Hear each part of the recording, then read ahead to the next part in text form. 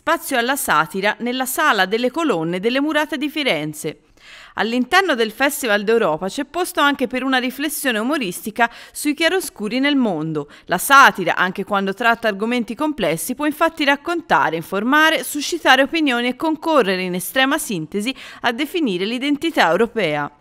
L'evento che vede protagoniste le vignette di Luigi Porceddu è stato organizzato da Blog Global, un sito di attualità che si propone come osservatorio online di politica internazionale. Noi veniamo da un ambiente universitario e crediamo che eh, far luce su, mm, eh, su queste tematiche eh, sia, sia, veramente necessario per, eh, appunto, per, approcciarsi alla realtà e quindi i giovani sono il nostro, il nostro ambito più, più, più diretto. Ecco.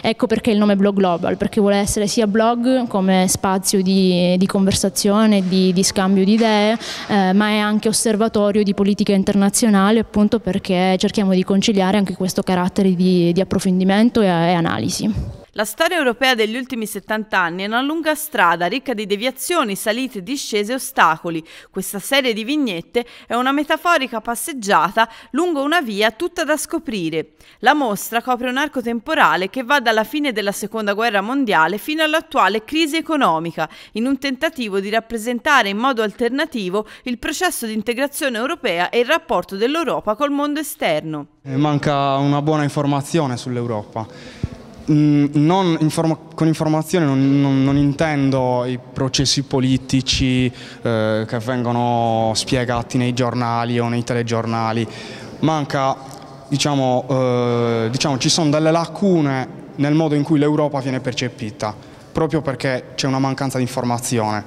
L'Europa viene percepita male dai cittadini proprio per questo, perché non riesce a dare un'immagine di se stessa adeguata sia dal punto di vista delle politiche interne sia soprattutto dal punto di vista della, della politica internazionale, della politica estera che comunque ha dei punti negativi ma anche molti punti positivi, considerando che l'obiettivo principale che è stato raggiunto è rendere l'Europa un continente pacifico dopo millenni di guerre, quindi non, cioè, è una cosa bellissima, simbolicamente molto bella, poi vediamo dove porterà questo processo.